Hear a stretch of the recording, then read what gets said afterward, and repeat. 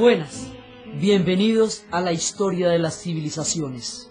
Vamos a empezar con nuestra primera historia y vamos a crear el mundo de la antigüedad. Este es un recorrido por el tiempo y el espacio, por el globo terráqueo, por los mapas, por las penínsulas, por las bahías, por las arenas, por los hielos, para descifrar el enigma, la maravilla y el esplendor y las miserias del paso de la especie humana sobre la tierra a partir del momento en que inventaron la escritura. Entonces nuestro relato empieza entre el Tigris y el Éufrates, en el valle de la media luna fértil, que desembocan en el Golfo Pérsico y nacen en Turquía. Ahí empieza nuestro relato y de ahí para adelante nos estamos moviendo con el globo terráqueo de un lado al otro a medida que van apareciendo las civilizaciones.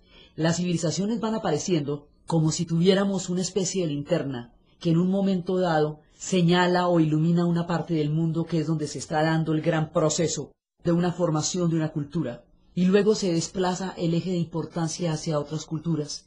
A veces se van haciendo simultáneamente y están al mismo tiempo surgiendo en todas partes. A veces unas quedan olvidadas en el tiempo y se rescatan muchos años o siglos después. Vamos a mirar todos esos procesos para entender un conjunto que se llama la antigüedad. Hay una cosa que es importante aclarar. Antes que nada, siempre que se va a hablar de la edad antigua, todo conocimiento de la antigüedad es provisional. Porque quiere decir que vamos a hablar de lo que sabemos hasta ahora. Mañana puede aparecer un pedazo de hueso, una losa, una baldosa, que desvirtúe una teoría o la adelante mil años. Eso siempre puede ocurrir porque la arqueología es provisional y de todas maneras es una interpretación sobre lo que nosotros hasta ahora vamos entendiendo acerca del proceso de civilización humana. Sobre esa base empezamos. Entonces uno dice, bueno, si el registro escrito, el primer registro escrito, surge en Mesopotamia, en el dolorosísimo país hoy día de Irak, Allí donde se está librando un conflicto tan aterrador fue donde surgió todo el concepto de civilización de la especie humana. Eso hace mucho más trágico todo lo que está pasando porque hace que muchas cosas se pierdan irremediablemente en, en toda esta barbarie que hoy vuelve a atacar de nuevo a Irak. Allá surgieron las civilizaciones. Entonces uno dice, bueno, pero si surgieron allá, si ese es el principio de los tiempos, ¿por qué duramos tanto rato sin saber qué había pasado allá? porque nosotros no tenemos un registro como los egipcios, que hemos encontrado desde siempre su paso en, por los templos. Un buen rato no supimos qué decían sus jeroglíficos, pero lo pudimos encontrar. ¿Por qué no tenemos de ellos un registro como el que tenemos de los griegos, cuya historia nos viene tan, digamos, tan completa y nos influencia tanto hasta el presente? Porque esta gente tenía otra manera de organizar sus ciudades. Ellos no tenían ni la impresionante piedra de los egipcios, ni el mármol de los griegos. Ellos tenían unas tablitas que se llamaban tel, unas tablillas que hacían montañitas, montañas artificiales. Sus ciudades estaban construidas en ladrillo. Eso es mucho más efímero en el paso del tiempo que las impresionantes piedras de los egipcios o el mármol de los griegos, por un lado. Por otro lado, en estos países llegó el Islam y llegó el cristianismo. Y tanto la influencia del Islam como la influencia del cristianismo partieron desde su llegada como punto de referencia de su historia y dejaron atrás lo que hubiera existido. Entonces, por eso durante muchísimo tiempo no, supimos qué había antes. Cada uno de estos, de estos dos comienzos son únicos, o sea, cada uno cree que ha inventado el mundo a partir del momento en que llegaron. Entonces, por eso también hay una distancia. Por el otro lado, Oriente y Occidente eh, durante mucho tiempo estuvieron desconectados por guerras y conflictos, lo que hace que del lado de Oriente nosotros sepamos durante mucho tiempo muy poco. La influencia griega para nosotros fue tan grande que parecería que ellos son el comienzo y el final del mundo, y sí son unos duros, pero el mundo estaba inventado antes. Entonces vamos a empezar por romper el silencio que había, este manto de misterio que durante mucho tiempo cubrió Mesopotamia. Y ese manto de misterio se va a descorrer en el siglo XIX. En el siglo XIX empieza una fiebre enloquecida por descifrar los enigmas del pasado. En su momento lo veremos por qué el siglo XIX tiene tanta necesidad de inventar el futuro y de conocer el pasado. Pero el asunto es que es en ese momento, y solo en ese momento, o sea, realmente hace muy poco, para la cantidad de siglos que vamos a cubrir en nuestro relato, que se saben las cosas que se sabe de Mesopotamia.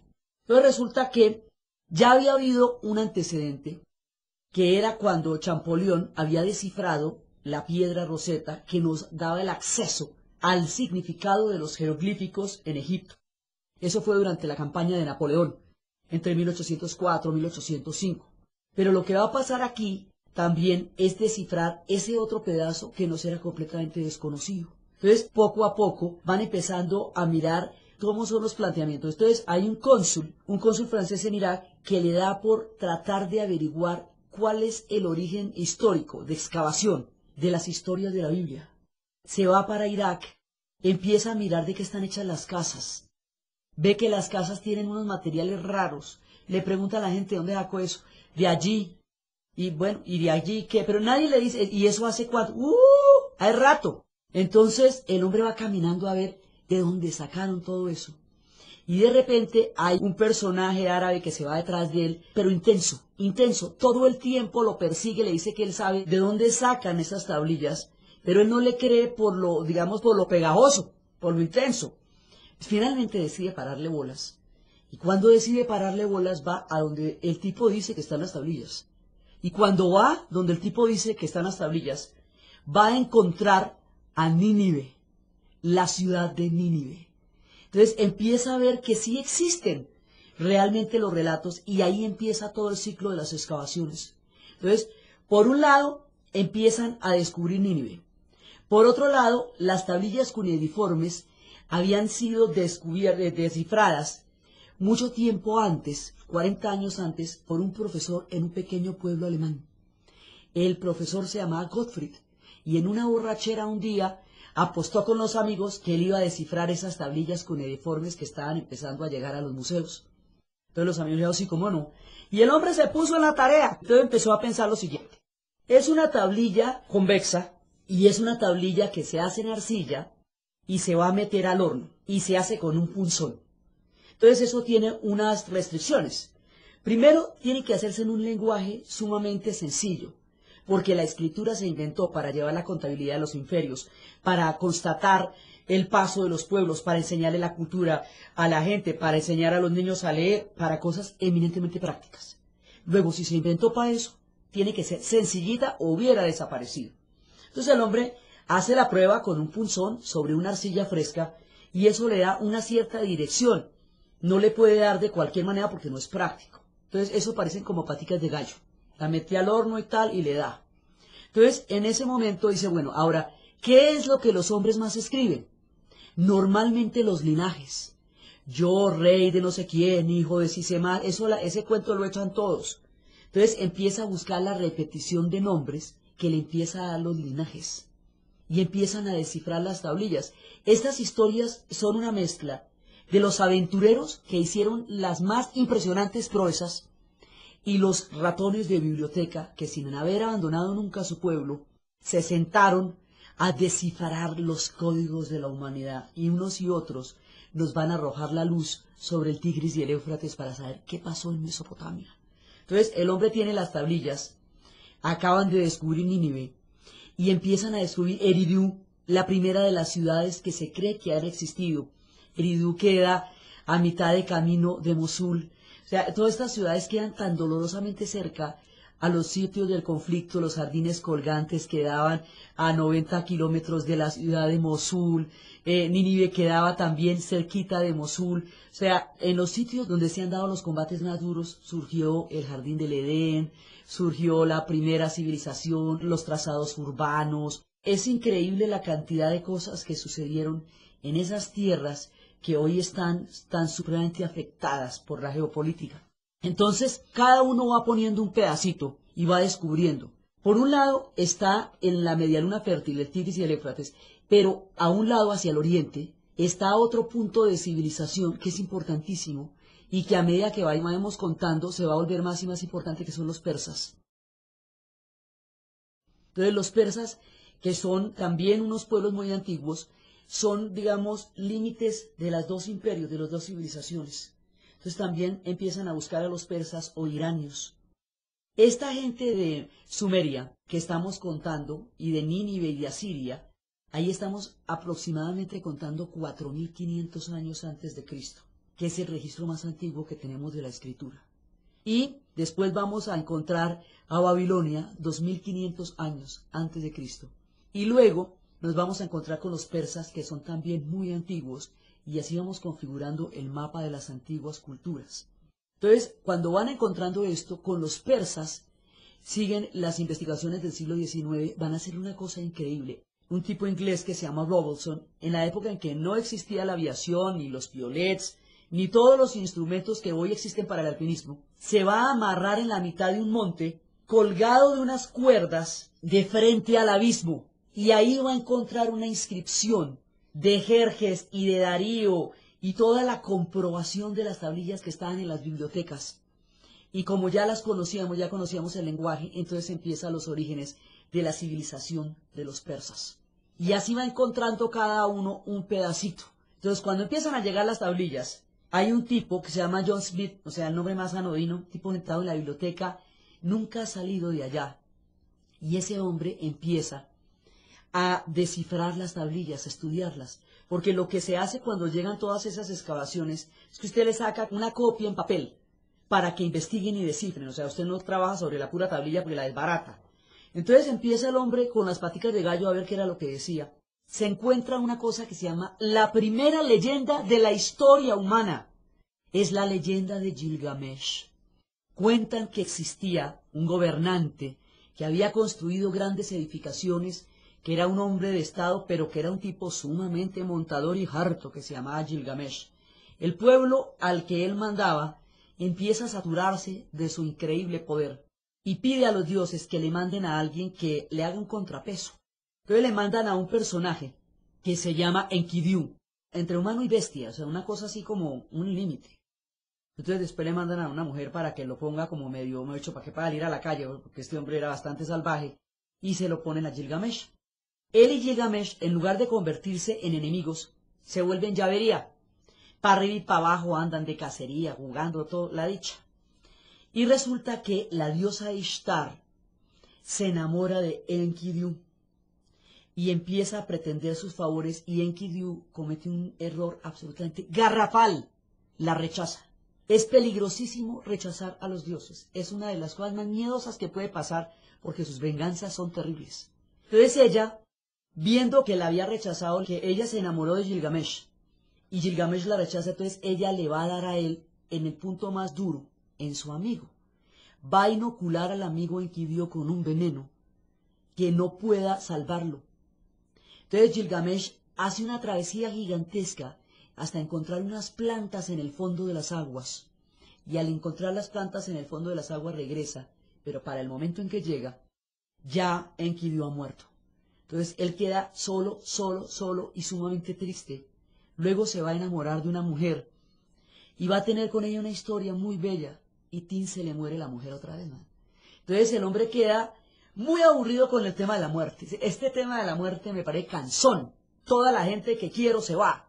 Entonces empieza como a buscar la inmortalidad. Y hasta ahí estaba descifrado. Entonces John Smith, que se la pasaba solo en la biblioteca, dijo, yo voy a conocer la segunda parte de la leyenda. Un periódico ofreció una suma de dinero para el que fuera a buscar e encontrar la segunda parte de la leyenda.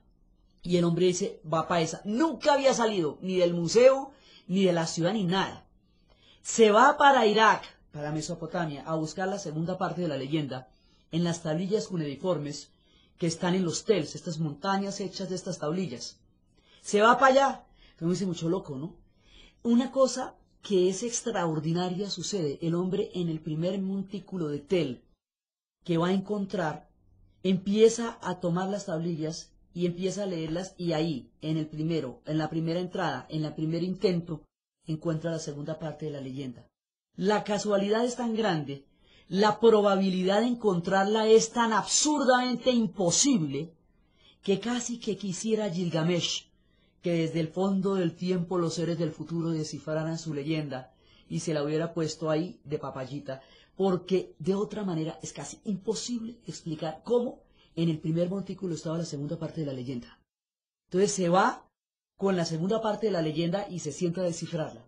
Cuando la va a descifrar, encuentra que Gilgamesh se va a tropezar en su travesía buscando la inmortalidad con un personaje que le dice, usted conoce la inmortalidad, dice, en general la inmortalidad es un tema de los dioses. O sea, eso para nosotros es muy complicado, pero le puedo decir una cosa. Yo fui enviado por un dios en Lil, que me dio la posibilidad a mí y a mi mujer y a mis hijos de salvarnos de una inundación, de un diluvio que habría de mandar para castigar a la raza humana por sus defectos. Entonces a mí me dio, o sea, yo no lo llamaría inmortalidad, pero digamos tuve la posibilidad de sobrevivir a eso. Y le empieza a contar. Le dice, bueno, ¿cómo le parece? Llovió durante siete días y siete noches. Y yo estuve navegando hasta que un día paró la lluvia y yo vi un monte a lo lejos. Entonces mandé un cuervo, mandé una golondrina y mandé una paloma a ver si regresaban. Y no regresaron. Entonces yo descubrí que efectivamente ahí había tierra de alguna manera. Entonces empiezan a contar toda una disertación sobre la inmortalidad. Gilgamesh no va a encontrar la inmortalidad. Es solo para los dioses. La soledad lo afligirá, pero entenderá muchos secretos del corazón humano en su búsqueda de la inmortalidad. Esa es la primera leyenda en la historia humana. Ahora, el tema es que esta leyenda está hablando del diluvio. El diluvio está citado en la Biblia, pero esta leyenda tiene 2500 años antes. He ahí, digamos, el misterio. Está situado 2500 años antes del relato bíblico. Entonces, digamos, a medida que van apareciendo cosas, nos van quedando unas certezas y unas dudas. Va apareciendo la primera leyenda en la historia humana. Esto fue lo primero que se escribió. La otra cosa es que después de que John Smith descifra la leyenda, después de que la completa y ya la deja lista y estructurada, dura tres años haciendo eso, a los tres años muere intempestivamente, como si esa hubiera sido la misión de su vida, como si para eso lo hubieran traído a este mundo y dejó lista y escrita la leyenda de Gilgamesh descifrada de la antigüedad. Entonces después de eso hay un tipo que se llama Caldaway. Caldaway se va otra vez para allá y entre el Tigris y el Éufrates va a encontrar las claves de una ciudad que se llama Babilonia. Entonces, Babilonia, los griegos la llamarían Babil los judíos la, llamaban eh, Babel. Él lo que va a encontrar dentro de las excavaciones es un templo de culto que se llama un sigurat. Los sigurats son unos templos gigantescos. Este sigurat en particular es muy grande y estaba sobre un valle plano, se distingue muchísimo. Parecería que tocar el cielo. A ese sigurat los judíos lo llaman Babel, la torre de Babel. Y es Babilonia. Eso estaba hecho para un dios que es Marduk. Marduk en un poema que se llama Enuma Elish. Le va hablando a los astros y a medida que le va hablando a los astros, con su palabra, los astros van ocupando un lugar en la bóveda celeste, creando las órbitas, las constelaciones y el mundo de las estrellas. Ahí en Babilonia es donde esta gente va a desarrollar la astronomía. Esto es un desierto plano, ahí no hay mucho que se mueva. Si usted no conoce los movimientos del cielo no se puede orientar. Así que la gente de Babilonia en lo primero que van a desarrollarse muchísimo es en la astronomía. Y de esa manera nos vamos a encontrar con la famosa Babilonia. Babilonia es contemporánea también de los persas. Babilonia es muy posterior a Sumeria, como dos mil y pico de años posterior a Sumeria. Pero también es parte de los ciclos de civilización de la misma media luna fértil. Si uno dice, ¿por qué pasa tanto ahí? Porque alrededor es desierto. Y ese pedacito entre el Tigris y el Éufrates es el único pedacito donde se puede cultivar.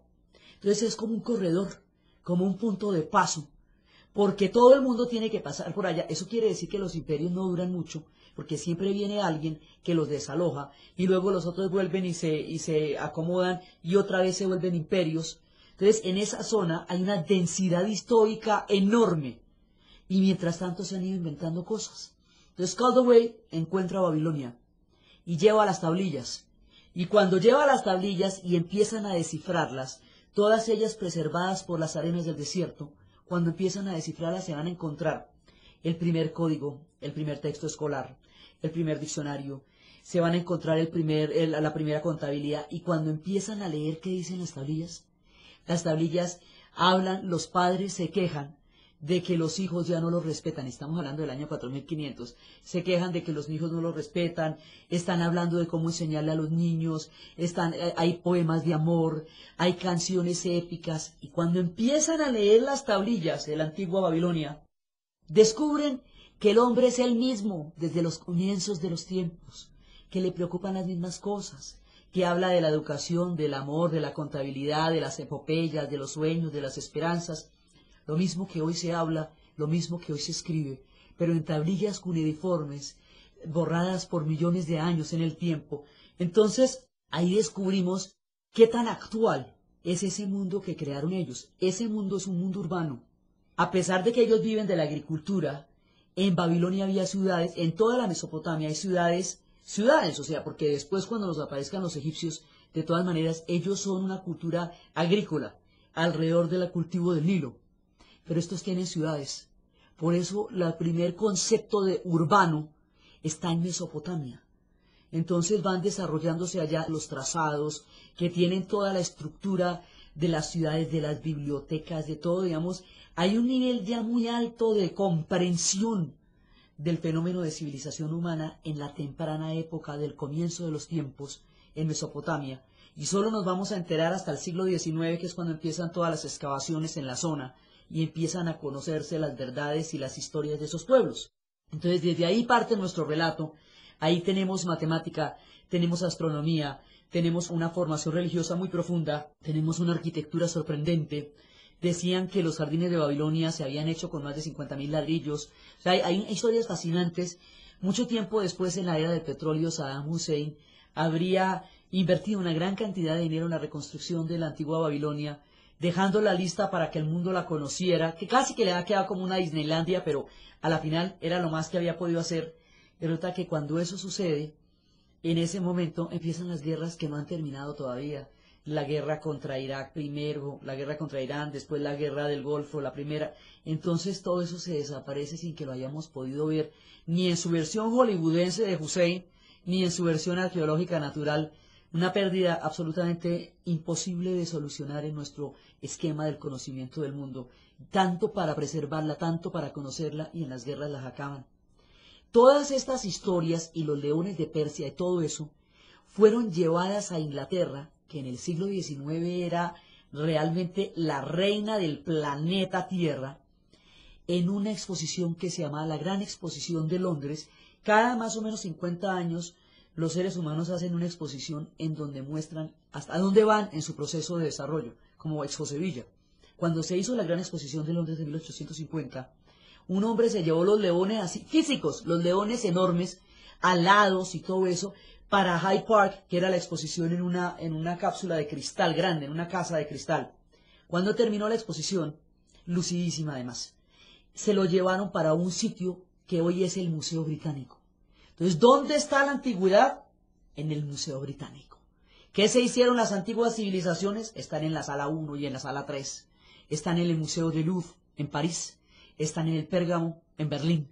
Y es allá, en las grandes capitales del mundo industrializado de hoy, donde se encuentra la antigüedad, porque los lugares de donde proviene muchas cosas ya no están. Entre las guerras y el saqueo, a estos pueblos son remanentes de un gran pasado. Entonces, empezamos por Babilonia. Después de Babilonia hay a ambos lados, al oriente de Babilonia y al oriente de Mesopotamia. Mesopotamia se nos divide en la parte sur que es Sumeria y la parte norte que es Acadia. La parte sur nos corresponde al país de Irak, la parte norte nos corresponde al país de Siria. Es decir, lo que hoy es Siria era parte de Mesopotamia y correspondía a los acadios. Entonces aquí van a estar los sumerios, los asirios, los acadios, los caldeos. ¿sí? Todo ese combo es, son las culturas de la media luna, los pueblos del Tigris y el Éufrates, y lo llamamos Mesopotamia porque está entre dos ríos. Ahí empieza lo que hasta ahora conocemos como civilización. Al oriente van a estar los persas, hacia el año 2500 antes de Cristo, y al, al oriente de Mesopotamia, ¿verdad? Y al occidente de Mesopotamia va a estar un pueblo que es completamente atípico porque todas las civilizaciones, la de la Luna fértil, la de la meseta de Irania, la del país de los arios, van a conectarse con otras civilizaciones que van saliendo a medida que van pasando nuestros relatos, todas alrededor de los ríos. Entonces, lo que es Persia va a ser un punto de contacto entre Mesopotamia, China e India. O sea, el, lejano, lo que llamamos lejano oriente, se va a conectar con lo que llamamos Oriente Próximo a partir de esa, esa conexión gigantesca que son los persas. Entonces, eso hace que toda el Asia de alguna manera vaya teniendo una, cada una noción de la otra. Pero hay un caso fascinante, sobrecogedor, maravilloso, que nunca dejará de provocarnos toda clase de enigmas, es que estos están completamente aislados, no entran en contacto con nadie, todos se lo inventan solitos, nadie pasaba por allá, que son los egipcios. O sea, de alguna manera todos los demás pueblos están conectados y luego cuando ya empiezan las rutas y la ruta de la seda y todo, pues ya cada uno de estos pueblos va a tener una referencia muy clara de la existencia del otro. Pero los egipcios no. Los egipcios aparecen en nuestro relato hacia el año 3500 a.C., es decir, se quedarían situados unos 500 años después de lo que conocemos de Mesopotamia, en nuestro provisional conteo del tiempo. Esto a nivel de excavación, a nivel de astrología, de las estrellas que había en esa época, el conteo nos da mucho más atrás pero en los términos de historia contamos desde la excavación. Es que no es el único término. Los chinos, por ejemplo, tienen dinastías mitológicas mucho antes de excavaciones, pero la excavación nos da más o menos desde el año 3500 antes de Cristo. Entonces, allá los egipcios tienen un don. Ellos van a tener una fe profunda en los dioses, porque los dioses se han portado con ellos de maravilla. Los dioses les han dado una cosa que les va a hacer la vida maravillosa y es el Nilo el don del Nilo. Una vez que los egipcios aprendan a manejar las aguas del Nilo, aprendan a manejar la sequía, los ciclos de sequía y los ciclos de inundaciones, y aprendan a cultivar la tierra con ese limo fertilísimo que queda en las orillas cuando se va, cuando se seca el río. Ahí están hechos. Entonces ellos van a durar 27 siglos, a diferencia de la gente de Mesopotamia, que eso era de un movimiento, de un movimiento, entonces duraban un ratico y luego llegaban los otros y luego llegaban los otros. Esta gente nadie la perturba. Por allá cuando aparece alguien, ellos ya hace rato hayan pasado el imperio antiguo. Entonces ellos van a tener 27 siglos. Luego el tema de la inmortalidad para un egipcio es una cosa común y corriente, porque es que ellos sí la vivieron y ahí están. Entonces, ellos van a desarrollar toda una cosmovisión, primero, muy amable con los dioses, porque los dioses con ellos son chéveres. Los dioses les dan alimento, los dioses les dan agua, los dioses les dan toda una proyección del mundo, así que no hay problema. Entonces los egipcios empiezan a desarrollar su gran civilización desde el alba de los tiempos, cuando empiezan a controlar las aguas. Una vez que lo hacen, empiezan toda su relación cósmica entonces, por ejemplo, ellos tienen pues los grandes dioses que son los que los de la, los de la ultratumba tienen un mito fundacional. Isis y Osiris van a ser los grandes dioses, pero Set, que es un hermano de Osiris, va a matar a Osiris, lo va a desmembrar, lo va a enterrar por todo el imperio. Entonces, en ese momento, Isis va a recoger todos los pedazos del cuerpo de su esposo y los va a reconstruir y va a tener un falo de barro y con él va a tener un hijo que se llama Horus. Horus, que es este dios halcón, es el punto de contacto entre lo divino y lo humano y es el que le da el carácter divino a los faraones. Esta gente empieza a construir las pirámides desde el imperio antiguo. Hay muchos misterios en cuanto a los egipcios, porque cuando tenemos excavaciones cuando tenemos ya los primeros hallazgos arqueológicos, cuando tenemos las pirámides y cuando tenemos la esfinge, que es más vieja todavía, esto ya hace muchísimo tiempo, ellos se vinieron cocinando. En la historia los pueblos se cocinan en la sombra y de repente se hacen visibles. Entonces, cuando ellos aparecen, su grado de desarrollo es altísimo, ya desde el principio de los tiempos. Si uno dice, bueno, pero ¿a qué hora se inventaron semejante rollo? y no le contaron a nadie que cuando aparecen hacen las pirámides, los templos, una cosa impresionante. No sabemos cuánto tiempo duró cocinándose la civilización egipcia antes de hacerse visible a través de las pirámides. Ellos intentan hacer pirámides, primero hacen unas escalonadas, que son eh, hasta que le llega la estea a la pirámide como es. Hay una que se les cayó por completo, la pirámide de Naidum, y empiezan la, los arquitectos a crear las grandes pirámides y empiezan a desarrollar una civilización basada en el concepto de la muerte. Pero la muerte, entendida como lo más eh, preciado de los momentos más maravillosos de la vida. O sea, para ellos la muerte no es un castigo, ni es de ninguna manera una, un tormento. Para ellos la muerte es una prolongación, es la gloria, es la eternidad. La, la, la, única condición es que usted tiene que haber nacido en el suelo de Egipto. Por eso, en la famosa novela de Mika Baltari, Sinoé el egipcio, Sinoé tiene que regresar a Egipto porque si llega a morir fuera, como un extranjero, pierde el contacto con la inmortalidad. Entonces ellos creen que, digamos, no es que crean, cuando uno dice que ellos creen es como si nosotros sí supiéramos, nosotros tampoco sabemos. Para ellos el cuerpo y el alma se separan y cada uno emprende un viaje. El alma se va a encontrar con una pesa en la cual el corazón se va a equiparar a una pluma. El corazón tiene que ser tan ligero como una pluma, no en términos físicos, sino en términos de las pesadumbres del alma. Es decir, usted tiene que terminar en la vida todos los asuntos que tiene que arreglar para que se lleve el corazón liviano, para que se lo lleve fresco, ¿sí? Porque si no, si su corazón va pesadumbrado, va lleno, entonces le pesa más que la pluma y viene Anubis, que es el que toma esas medidas y lo deja por ahí y no lo lleva al viaje al inframundo, donde viene la barca que lo va a llevar hacia el, hacia el mundo de la inmortalidad, donde lo está esperando Horus, que es precisamente por su misma condición el Dios que establece este límite entre la vida y la muerte, después de los juicios.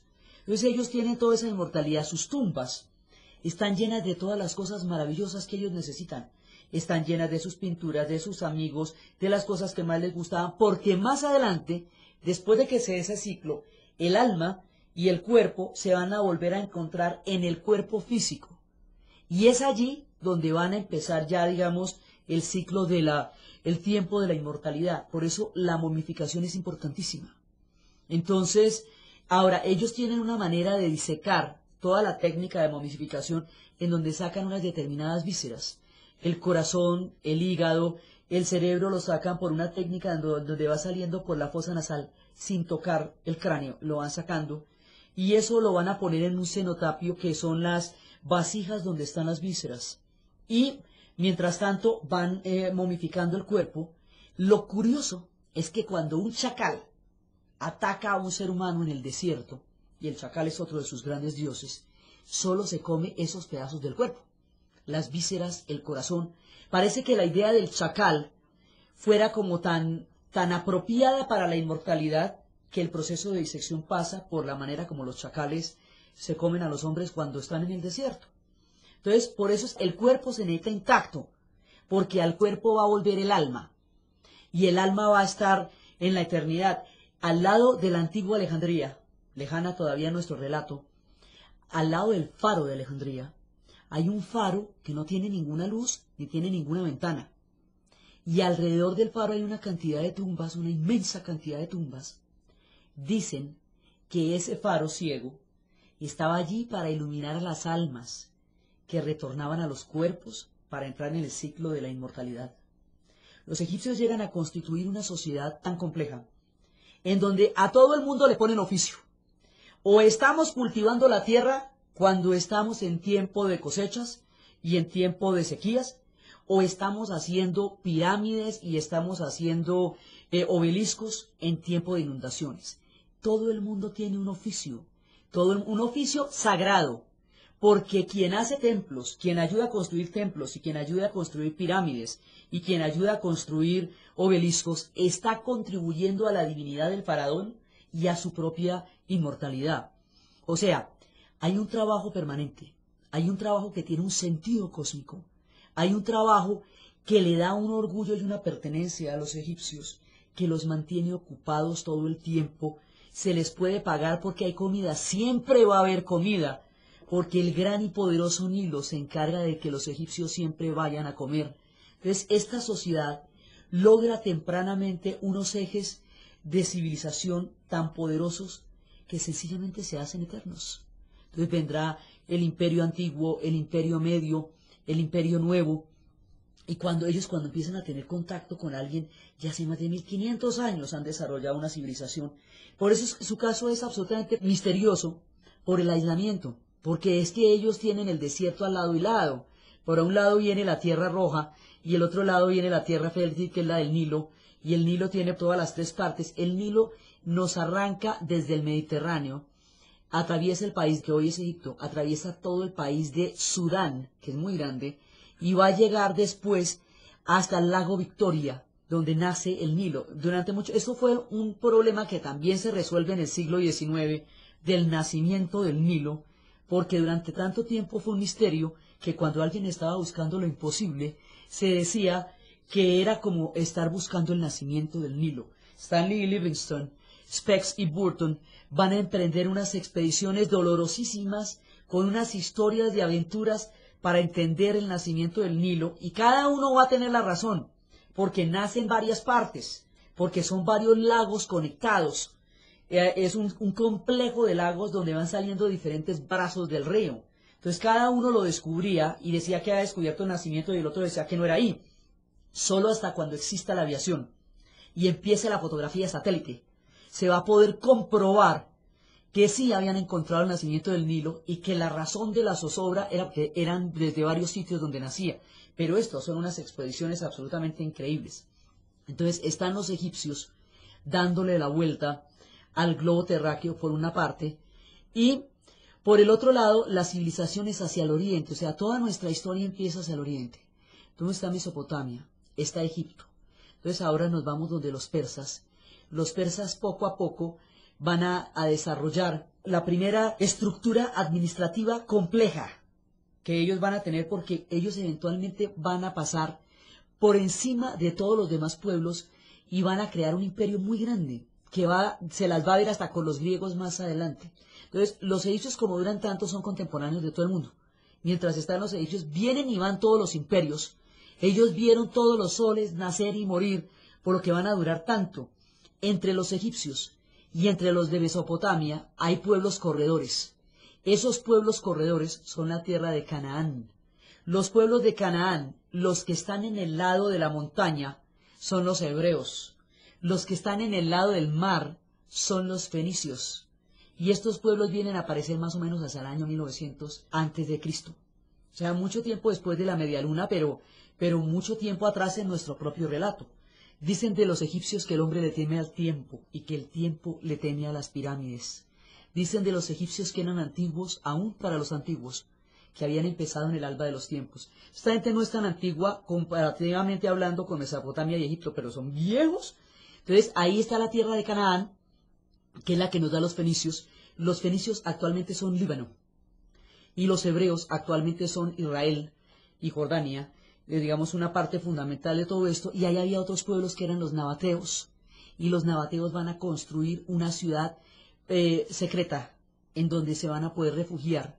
Una de las maravillas más grandes que el hombre se puede imaginar, Petra, en el actual país de Jordania, queda la ciudad invisible de los, de los nabateos, secreta durante milenios, que un investigador suizo, eh, disfrazado de mendigo, camuflado entre las caravanas, va a descubrir en el siglo XIX también. Un día el hombre va caminando y frente a sus ojos aparece la gruta de Petra con su piedra rosada y el sol sobre ella y el hombre no se la puede creer.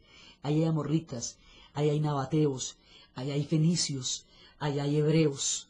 En esa zona de Canaán, que es pequeñita, pequeñita, pequeñita, ahí está el pueblo de los cananeos, dicen que vienen los palestinos. Otros dicen que vienen del mar, de los filistinaes. Otros dicen que son árabes cananeos. Entonces ellos también aparecen en esa zona entre los dos imperios y solamente pueden brillar cuando ahí los dos imperios están en crisis porque si no les pasan por encima a todos. Entonces los hebreos vienen de los relatos bíblicos, vienen de Adán, vienen de Eva y vienen de la estirpe de Abraham. Entonces Abraham tiene dos hijos. Primero tiene su esposa que es Sara y una esclava egipcia que es Agar. Cuando Sara no puede tener hijos, él tiene un hijo con su esclava Agar. Y ese es el primer hijo de él que se llama Ismael. Y al poco tiempo Sara, aún después del tiempo de fertilidad, queda embarazada y va a tener a Isaac. Cuando nace el niño de Agar y Sara no puede tener hijos, El tema en la carpa se le vuelve imposible, imposible a Abraham. La lora que le dan las dos es gravísima. Entonces él lo que va a hacer es que lleva a Agar bajo su protección al desierto. Le dice, tú no puedes convivir conmigo, pero yo te estoy protegiendo y te vas para el desierto. Ella va a ir en su travesía al desierto y dicen que un día no había agua y ella estaba desesperada con su niño y ella le dio siete vueltas a un lugar, el agua brotó como un milagro. Dicen que esas son parte de las siete vueltas de la Kaaba que se tienen que dar cuando se celebran las peregrinaciones en el mundo del Islam. Agar y su hijo Ismael son los padres de los pueblos árabes. Isaac, hijo de Sara, es el padre del pueblo hebreo. Ellos son hermanos, son semitas. Son semitas porque vienen de una lengua común. Son semitas porque en los tiempos del arca de Noé, Noé tenía tres hijos, que eran Cam, Sem y Jafat. Y un día Noé se emborrachó, dos de los hijos se la montaron, y uno fue más bien solidario con él y lo, lo trató con amabilidad. Por ese gesto le dio la descendencia a Sem. Los que vienen de Sem son los semitas, que es más que todo una lengua, una lengua común. Estos pueblos de la zona de Canaán son pueblos semíticos, unos y otros son fenicios y que conforman el actual país de Líbano. Entonces, estos pueblos se van desarrollando allá y los judíos van desarrollando el relato bíblico. Los hebreos van a ser deportados por los babilonios, en una ocasión deportados por los asirios, y son los persas los que los van a ayudar. Ese exilio es el exilio de Babilonia, y dicen que cuando regresaron, de las doce tribus, Solo una volvió. Las doce tribus quedaron desperdigadas en el exilio. Una de esas tribus, por ejemplo, dicen que pueblo Afganistán. O sea, muchos pueblos se reivindican descendientes de esas doce tribus. Entonces, ahí están entre los egipcios y los mesopotámicos, y todo el mundo de Mesopotamia están los cananeos, y están los hebreos, y los nabateos, y los amorritas, los pueblos que hoy son Jordania. Por un lado, entonces uno se va hacia el oriente del mapa, todavía no hemos salido del Asia, Europa todavía no está pintada, el Asia conforma el comienzo de todas las civilizaciones. Más adelante, cuando los mongoles detengan el reloj del Asia, le tocará el turno a Europa. Pero por ahora, están surgiendo las civilizaciones en el Asia alrededor de los ríos. Los persas hablan de una historia de un dios que se llama Aura Mazda. Estamos en el 2500 a.C. Aura Mazda tenía dos hijos, Arimán y Zoroastro. Arimán se volvió vanidoso, se tornó en contra de su padre, se volvió arrogante y descendió de su gracia. Zoroastro, también llamado Zaratustra, entraría en una guerra con él por la manera como se alejó de la ruta de su padre, y esa pelea entre el bien y el mal es toda la estructura cósmica de la religión del zoroastrismo. Es muy curioso cómo ellos tienen una idea del bien y del mal, de una dualidad tan parecida, a la que más adelante tendría el cristianismo. En un momento dado, tuvieron una, garrotera los dos, y el uno, digamos, el uno va hacia el infierno, Arimán va a quedar encerrado en la montaña de Teranterán, tiene unas montañas gigantescas la ciudad. Y en el tres mil años después de esa pelea, supuestamente, va a salir Arimán. Zoroastro se va a enfrentar con él. Esa pelea será definitiva. Y una vez que esa pelea concluya, será el juicio final y el comienzo de una nueva era. El concepto del cielo, el concepto del infierno, el concepto del bien y del mal, esa dualidad cósmica está establecida desde los tiempos de Zoroastro. La gente en la religión del zoroastrismo rinden culto a unos fuegos sagrados que ardían en la tierra sin que nadie los prendiera. Esos fuegos sagrados que ardían en la tierra sin que nadie los prendiera, hoy los conocemos con el nombre de petróleo, y están allí desde el comienzo de los tiempos. Entonces, cuando una persona muere dentro de la religión de Zoroastro, lo van a ocultar en una cosa que se llama el templo del silencio. En el templo del silencio, las personas van a, dejar el cadáver allí, en ese templo, de manera que los buitres se coman los cadáveres para de esa forma retornarlo a la tierra. Muchas de las cosas que vamos a ver aquí también son las ideas de la muerte, no solamente de la vida, sino de la muerte. En los templos del silencio de los zoroastristas es la forma como los muertos van a regresar al lugar de donde vinieron, a la tierra, pero a través de la acción del animal que es el, cuervo, es su forma. Más adelante veremos cómo en el Islam simplemente los amortaja para que la tierra se los lleve, o cómo los hindúes los queman para que el cuerpo se diluya y el alma siga el eterno ciclo. Cada uno de ellos tiene una idea diferente de la muerte. Los zoroastristas existirán durante muchísimo tiempo en Persia, y después, cuando llegue la era del Islam y no puedan mantenerse por mucho tiempo más, irán a India, donde hoy siguen siendo una religión viva e importante. Los persas, como van a tener una expansión tan grande, porque es un imperio que va a llegar hasta, va a cubrir casi todo el centro del Asia, lo que es Afganistán, en esa época llamado la Bactriana, la cuenca de Pamir, toda esa parte del centro del Asia era el imperio persa. Entonces, el imperio persa, por eso decimos que es el punto que une el mundo proveniente de China y de India, porque el imperio duraba casi hasta el norte de la India estaban llegando los persas, y por occidente habían llegado por toda la península anatólica, por todo Siria, por todo, van a llegar hasta Grecia, y en Grecia, o sea, van a cubrir Anatolia, y en Grecia los van a parar. Ya cuando exista Grecia, es que los persas duran mucho tiempo.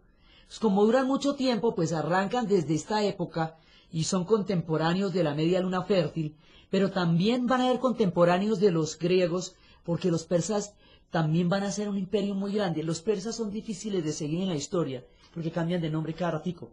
Se les llama iranios, país de Irán, país de los arios también. Se les llama persas por los parsúas porque ellos se conforman de una serie de tribus. Cada una de esas tribus ha dominado en una época.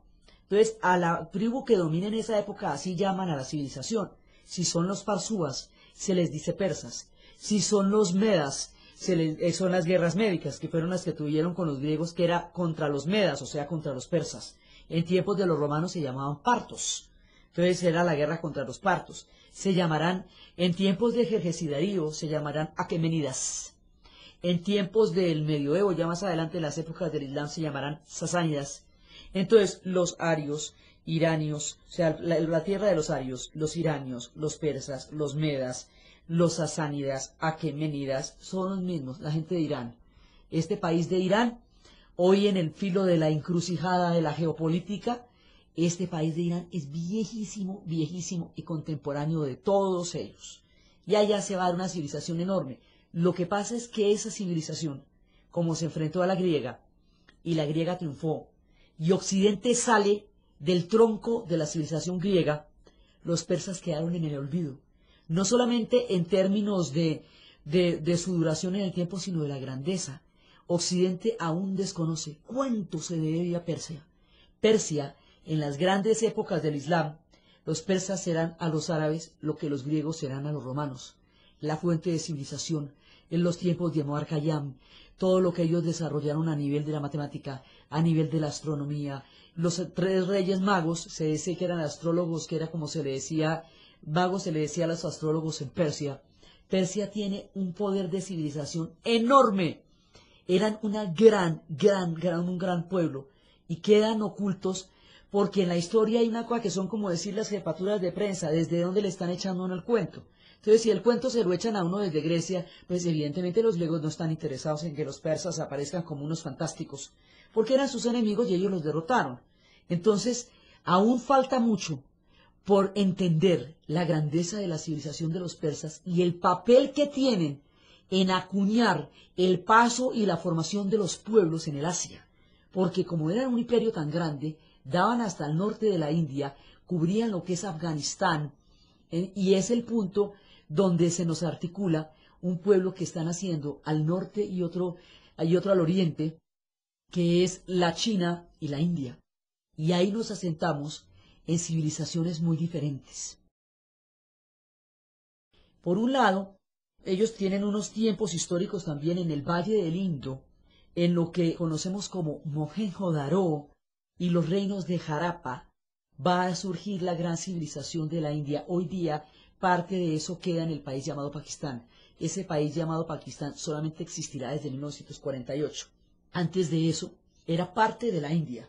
La India va a tener una expansión tan grande, y la China también, que todos los pueblos que vayan a surgir alrededor de ellos van a tener un influjo de sus dos civilizaciones. O sea, nadie que esté al lado de ellos va a escapar a la capacidad que tiene esta gente para desarrollar conocimiento. Por lo tanto, los pueblos que están entre uno y otro van a formar una península que se llama Indochina, porque es una parte de la India y otra parte de la China, es decir, una parte del hinduismo, otra parte del Tao, otra parte de las grandes civilizaciones. Entonces la gente del, del Valle del Indo va a crear un mundo alrededor de una, tempranamente ellos van a crear toda una visión cósmica que es lo más enriquecedor que ellos tienen. Hay una primera población que se llama los dravidianos. De esos dravidianos, después van a llegar una cantidad de pueblos, los primeros que van a llegar son los arios. Se habla de un mundo, inclusive se, se, se especula sobre un mundo matriarcal que existía en la época de los dravidianos y que después, con la bajada de los arios, se va a convertir en un mundo evidentemente patriarcal, se habla de una civilización primigenia, que eran los dravidianos. Ahora uno dice, si la India está toda rodeada al norte por la gran cadena montañosa del Himalaya, ¿cómo era que pasaba la gente para allá abajo? Sencillo, porque el Himalaya tiene unos puntos en que se deshiela cuando viene el verano y los ríos se vuelven como carreteras. Entonces muchos pueblos bajaron y bajaron y bajaron. Y a medida que bajaron se fueron asentando en la India, pero nunca se mezclaron.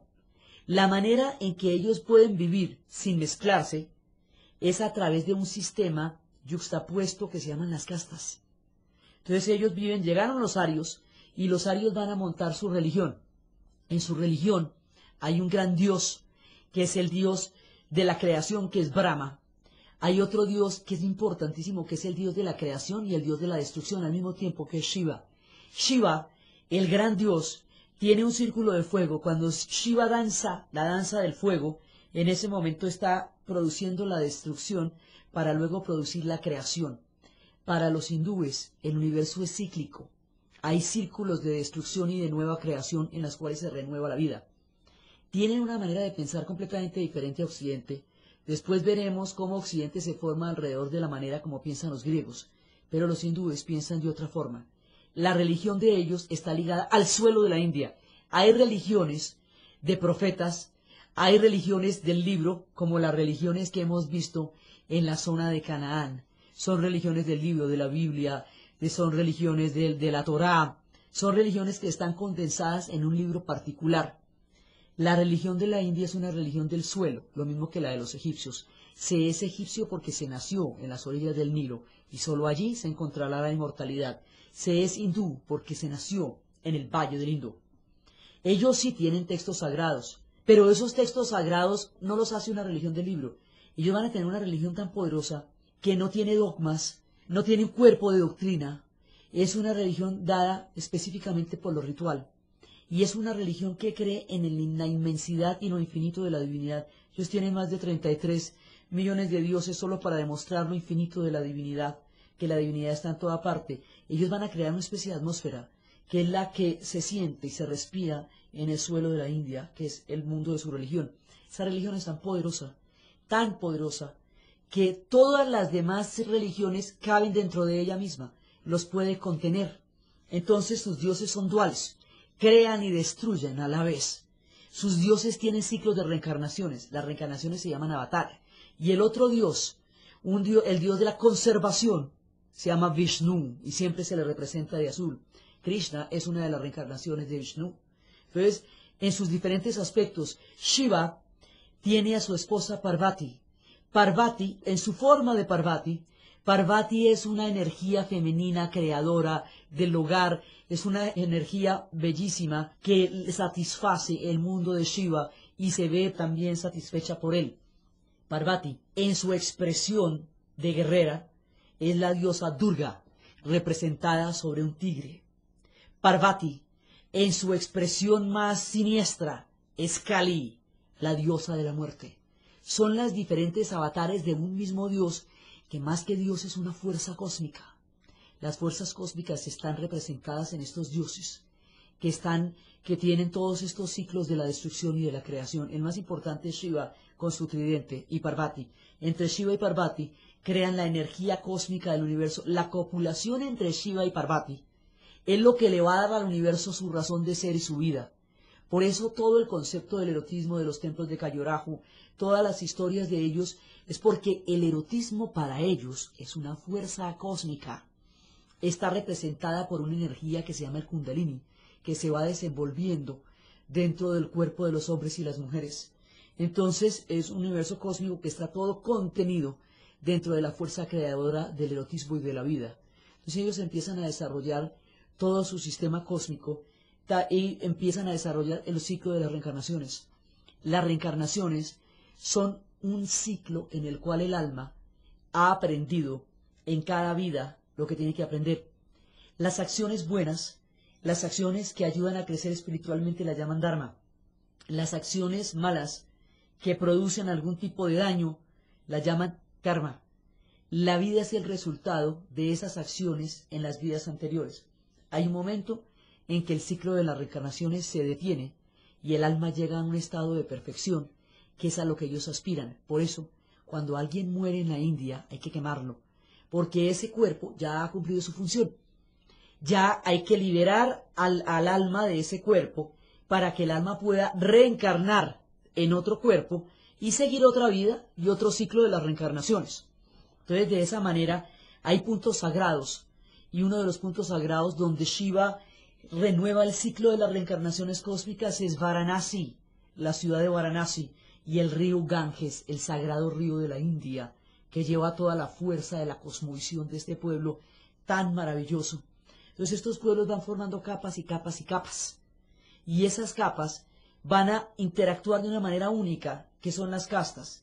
Cada una de esas castas, de las, desde los brahmanes, que son los sacerdotes, pasando por los eh, shadrias, que son los, los sudras, que son los, los, sacerdotes, los shadrias, que son los comerciantes, los vasias. Cada una de esas castas determinan un punto de reencarnación en la cual se encuentra el alma. Cada una de esas castas es una sociedad en sí misma.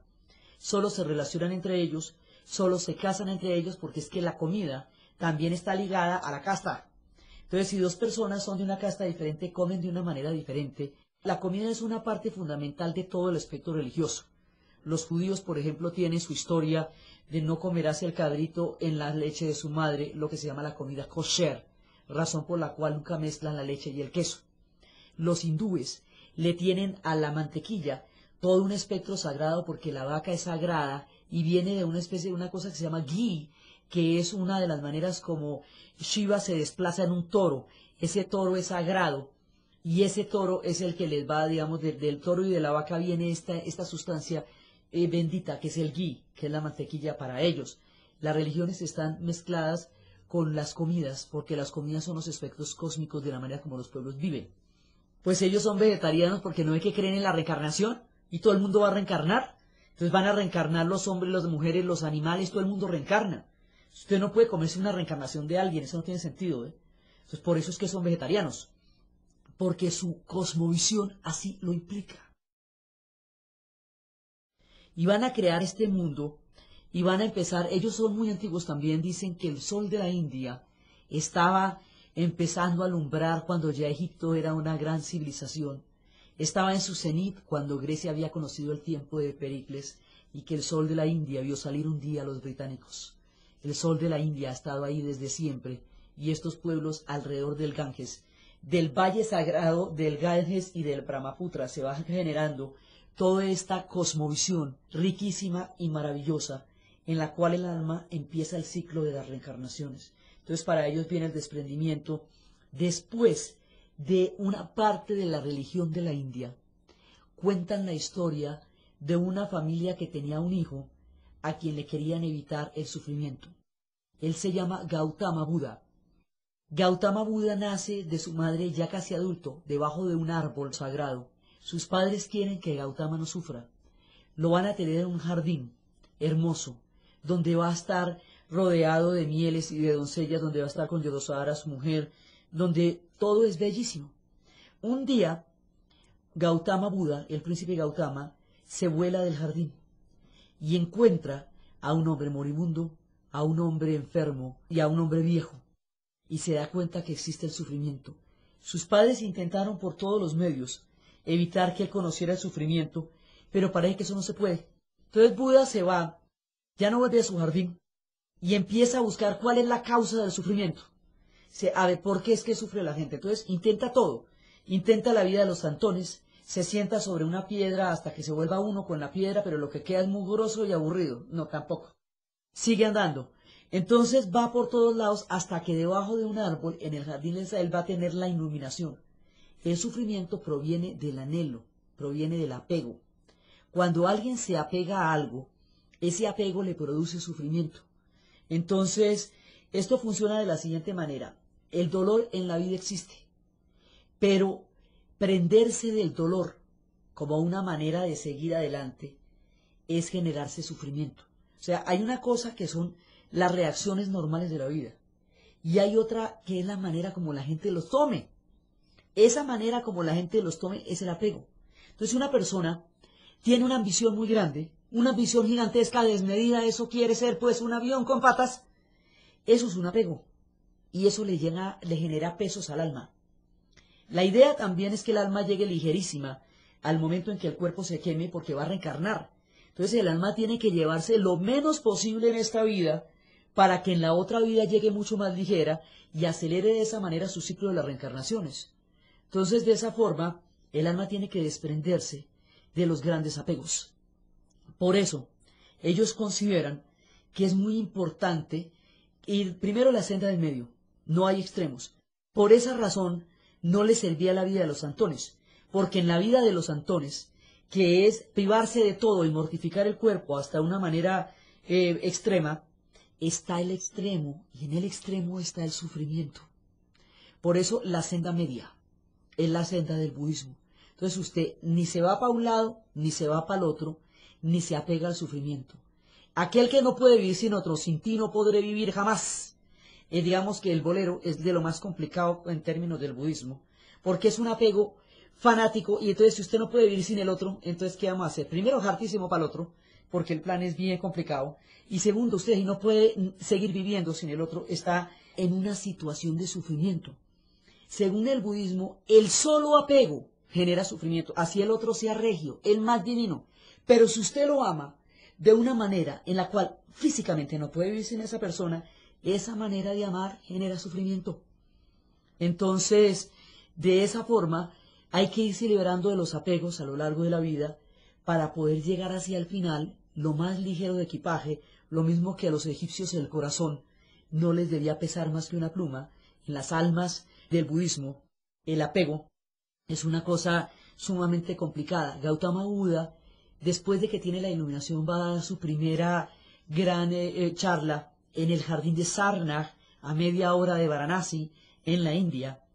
Y la gente empieza a escuchar el mensaje de Buda. Buda va a pintar en los templos todos los ciclos que él ha emprendido para la iluminación. Él es un iluminado. Y el budismo empieza a hacerse muy importante. Esto es en el siglo V Cristo que surge en la India. Pero como el hinduismo es tan grande, el hinduismo es capaz de absorber todo, entonces eventualmente el hinduismo absorberá al budismo.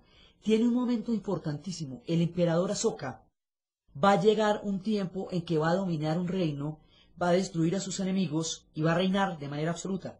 Cuando el emperador Asoka se da cuenta que es el gran victorioso, en ese momento se pone a pensar que toda la muerte y el sufrimiento que generó no vale la pena para la victoria. Hace un pacto de paz con Dios y con los hombres. Adopta el budismo, el espíritu de Buda. Se convierte al budismo. Escribe las normas del budismo por todas partes de la India y se vuelve un ejemplo de la paz, de un gobernante que es capaz de entender la bondad del corazón humano en un momento en que fue victorioso. ese cuento no lo cuenta nadie porque precisamente es en la victoria cuando no son capaces de entender la humildad.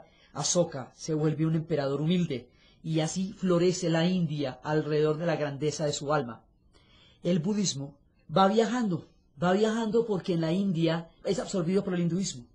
Entonces va viajando y a través de otra civilización que queda al ladito, va a llegar a un punto donde va a desempeñar un papel importantísimo.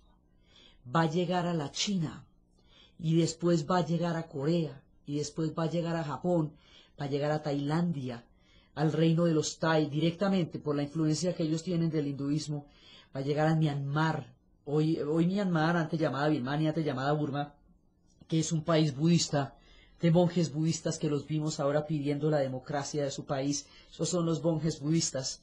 El budismo va a, a moldear el espíritu de la Asia, de la profunda y de lejana Asia del Oriente, a través de los mensajes a la China llegarán por el emperador amarillo y llegarán por la ceremonia del té.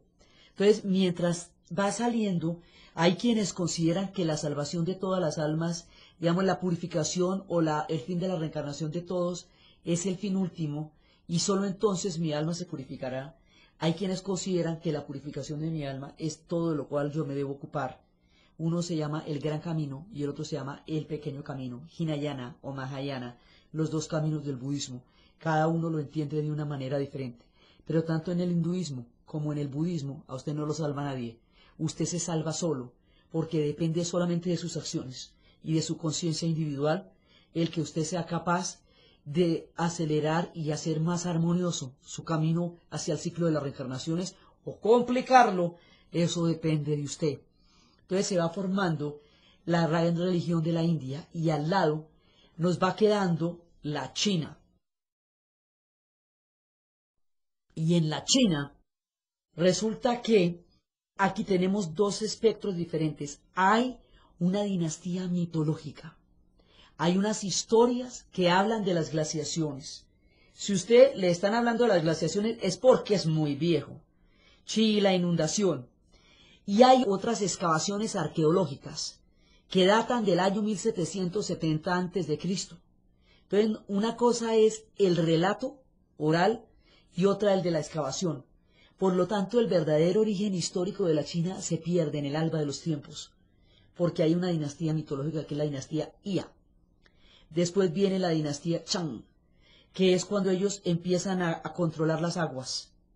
Después viene la dinastía Zhou y después viene la dinastía Qing, que es donde la China se unifica y alrededor de la unificación empieza a desarrollar un imperio que se va a expresar y se va a hacer poderoso en la dinastía Han, tan tan poderoso que los Han es como se conoce a la raza del pueblo chino. Entonces, en la época en que todavía no se han unificado, en la segunda dinastía de la era de excavación, la dinastía Zhou, que es eh, casualmente el mismo siglo VI antes de Cristo, que también con los griegos es un ciclo de florecimiento, ahí en ese momento va a aparecer un personaje que es por un lado Confucio y por otro lado Lao Tse. Confucio es un recopilador o sea, ellos no son ni profetas ni iluminados, son recopiladores de saberes muy antiguos. Y en el saber de Lao Tse, que es el Tao Te Ching, se va a crear un orden cósmico en donde las cosas son y no son de la misma manera y al mismo tiempo, en el cual hay dos fuerzas del universo, que es la fuerza del Yin, que es lo suscitativo, lo nocturno, lo pasivo, y la fuerza del Yang, que es lo activo, lo diurno, lo proactivo, lo que produce acción. En una montaña, cuando está el atardecer, el sol se proyecta sobre la montaña y hay veces hay una parte que está soleada y otra parte que está sombreada. La parte que está sombreada y la parte que está soleada varían según el grado de inclinación del sol. La parte que está soleada de la parte que está sombreada es la línea que divide al yin del yang en el esquema en donde están esas dos polaridades, la blanca y la negra, veo una línea curva que las divide en la mitad. Esa línea es la montaña sombreada. Eso es para decirnos que nada es absolutamente yin y nada es absolutamente yang. Que todos tenemos dentro de nosotros la naturaleza del otro. Las mujeres somos yin, pero tenemos naturaleza yang. Los hombres son yang, pero tienen naturaleza yin. Los órganos son yang y son yin. Y todo esto va a articular la medicina tradicional. Se va a traducir en la alimentación se va a traducir en la sexualidad, porque hay una sexualidad yin y hay una sexualidad yang, que es lo que van a formar la armonía cósmica y van a crear una historia, una visión del universo completamente diferente a la occidental. Y eso es el Tao.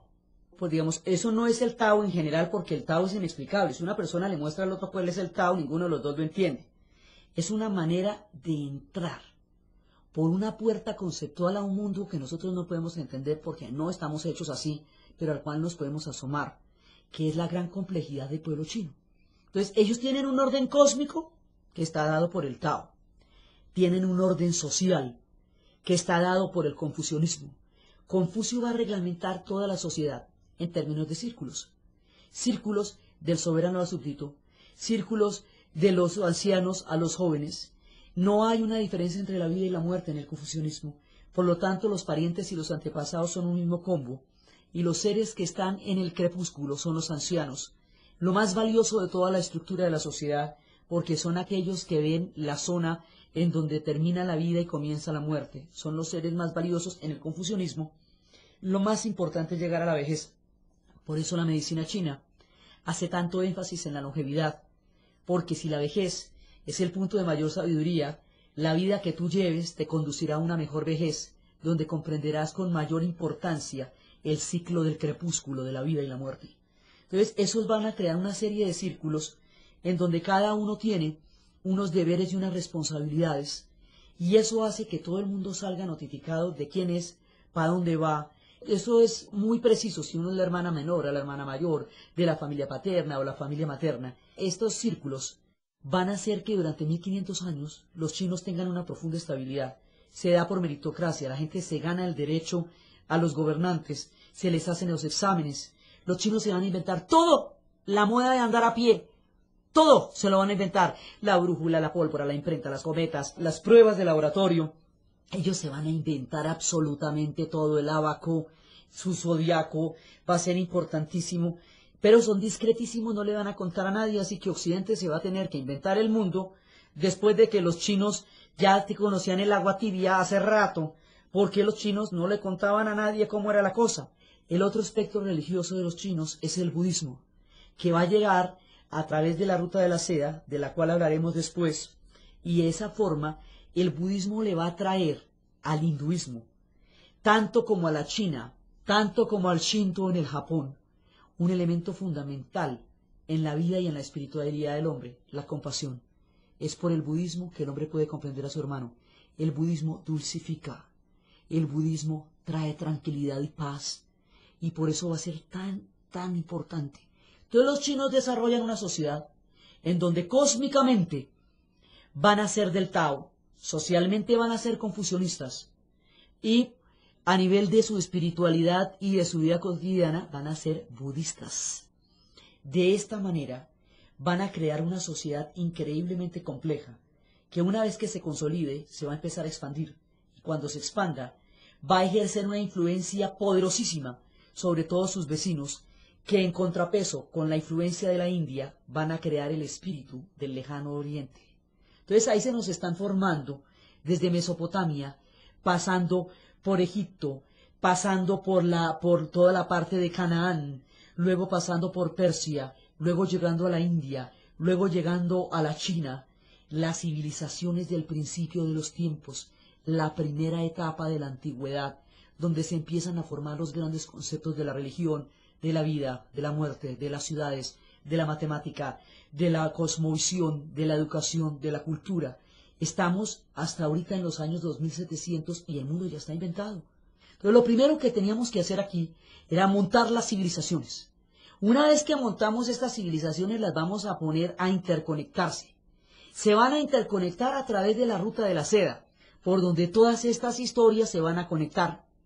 La ruta de la seda va a durar mucho tiempo y mientras tanto, al otro lado, en un lejano extremo, lejos de todo, en una estepa helada, en un punto desconocido hasta ahora en nuestro relato, dándole la vuelta al globo terráqueo, en la helada estepa de la Mongolia, van a ser un niño en una carpa con una marca de sangre en la mano. El niño se llamará Temujin. La historia lo conocerá como Genghis Khan. Ha nacido con el designio, la marca de sangre en la mano dice que él unificará las tribus de los mongoles. Los mongoles aprenderán a, cabalgar en la estepa con la invención del estribo, y una vez que lo hagan se extenderán por toda el Asia y modificarán de manera definitiva la faz de todas estas civilizaciones. Entonces las historias de la ruta de la seda, las historias de los mongoles cambiando el reloj del Asia y la manera como empieza a surgir eso otro que nosotros llamamos Occidente, es la materia del siguiente CD. Entonces, desde los comienzos de las civilizaciones, desde el alba de los tiempos, desde el país de los ríos, desde los dones del Nilo, desde la valle del Indo, desde donde se van formando los espíritus de las tierras y de los mundos como hoy los conocemos, vamos empezando nuestra historia de las civilizaciones.